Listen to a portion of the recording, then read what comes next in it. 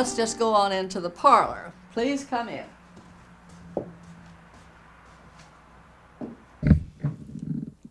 The parlor of an old house is the equivalent of the reception room today.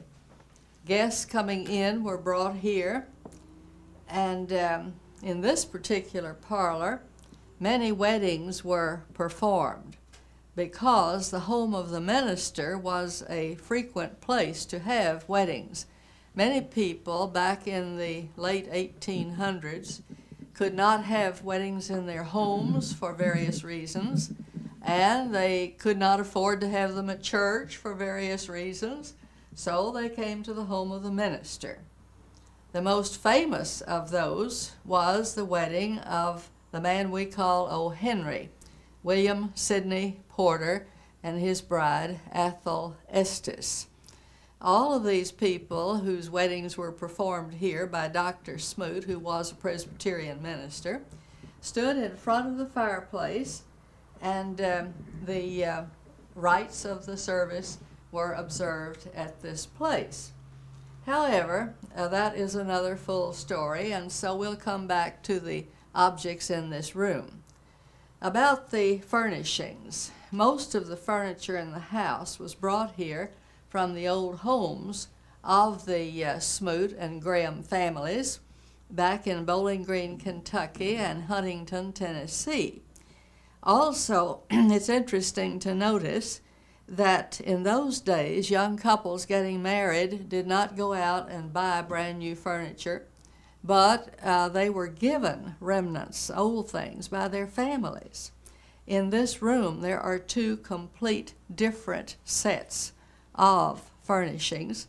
Uh, if you're close up, you can see which pieces match in design, and uh, therefore know that two different branches of the family contributed to the accumulation in this room. There are other things here that are interesting. My father, Lawrence Kelly Smoot, although he was of a career in law, an attorney with the Supreme Court for 66 years, he loved to work with his hands. And he did that artistically as well as in a utilitarian sense. Uh, for example, on this table is a Mississippi riverboat, which he made all by himself on what he called the scroll saw that we still have in the kitchen. Nowadays, I think it would likely be called a jigsaw. Anyway, he designed this riverboat cut it out meticulously and painstakingly uh, on the scroll saw, and gave it to his mother as a present. The picture, the round picture, shows him at the age when he made this uh, riverboat. Down below, you can see he even worked in a design showing the fish in the river underneath the riverboat. He made many other objects on the scroll saw. Here, for example, is an easel, uh, which we do not use as an easel. We just use it as a decorative piece. But he made a good many of these easels uh, with a crossbar he had down here and gave those as presents to people.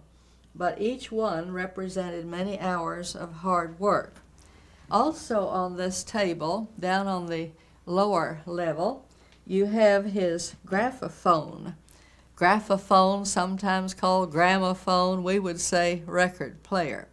This is one of the first ones that came to Austin, the kind that has the wax cylinders, you know.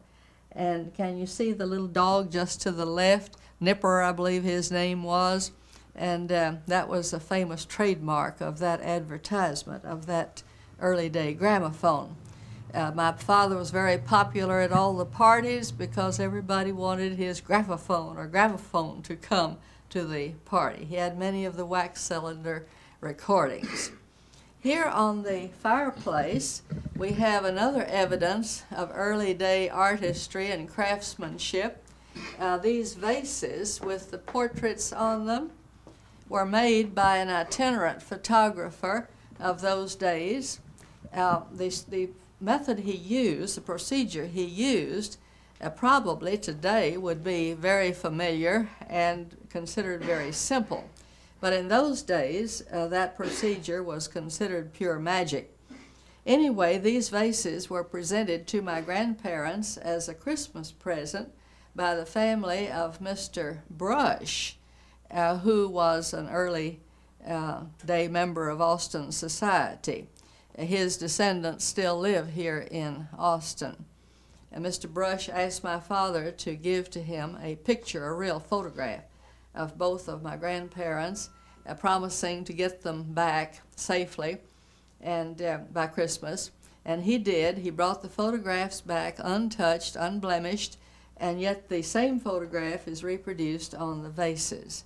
I know of one other of these still in Austin. There used to be a good many. I don't know what became of all the others. The fireplace was originally built for wood, and it was a large opening for wood cords and uh, wood logs. But along in the 1890s, it became fashionable to use coal, and even more fashionable not to have a wooden mantelpiece. The mantelpiece was wood hand carved. So the folks gave way to fashion and took out the old wooden mantelpiece and brought in this iron reproduction, this iron uh, simulation of marble. Marble was the popular thing, but my folks couldn't afford, afford marble, so they had this iron painted to look like marble. I used to be ashamed of that because I thought of it as a sort of a, a cheap um, substitute. I thought of it as uh, an, an awkward fake thing, which I didn't like. I wanted the real thing. But anyway, I found out since that there are special antique dealers uh, who like special um, iron simulations of marble. They go in for that as an extra interest. So I think a little bit more of it now that I know some people favor it as a specialty. In this corner of the room, we have a piece of furniture which has a story behind it.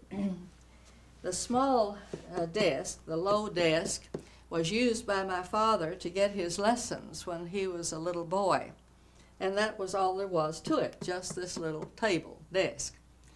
However, somewhere in the cellar or other storage, there were these four shelves, just the shelves, which had holes in the corners, and the shelves were connected by rope, a smooth rope, and joined at the top with a kind of V-shaped uh, cone which held them together. Now, the purpose of these shelves was for my great grandfather Graham, who was uh, a journey judge, to carry them in his suitcase collapsed, of course.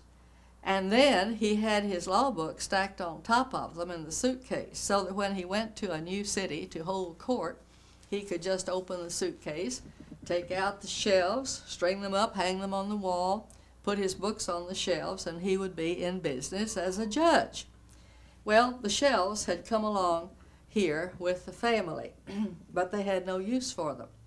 So my father decided to have these legs made, these columns, to support the shelves, which he then added on top of his little school desk and made this whatnot. I know there are other words for such pieces of furniture nowadays, but the old-fashioned word is whatnot. And he, we have here another piece of his handiwork on the scroll saw. This is a handkerchief box. And uh, you remember the, uh, the uh, piece we showed you over there. And here is another one of the easels on this table, uh, plus the more modern editions of the Hummel figurines.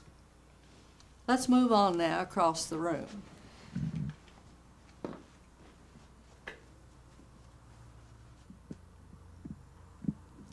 This whatnot in the corner of the room behind the door has all sorts of interesting things on it many family treasures that I won't stop to talk about, but two which I've taken off the shelf to show close up Here, a centipede that was found in the uh, location where the house was being built at the time it was being built, and that was 1877, you remember. So this centipede is of some age. Also, this flower, the night blooming cereus, was blooming in about 1890 here on the place. My grandmother, uh, Mrs. Sally uh, Graham Smoot, had this flower, quite a large one, and it bloomed riotously, was very heavily perfumed, quite a marvelous uh, object. Anyway, one of the pharmacists in town told her that if she would send one while it was blooming to him, he would preserve it in alcohol in a fruit jar. It bloomed only between midnight and dawn. So my grand my father was commissioned on his bicycle about two o'clock in the morning to take this blossom down to the pharmacist, uh, who then put it into this jar. And both pieces have been in their jars ever since. Uh, they are slowly fading away, but you can see them before they're entirely gone. Also, on this whatnot, please notice on the top shelf the seashells. It was customary in those days for members of the church, when traveling, to bring back souvenirs to the minister and his wife. At that time, seashells were very popular. They were quite a fad.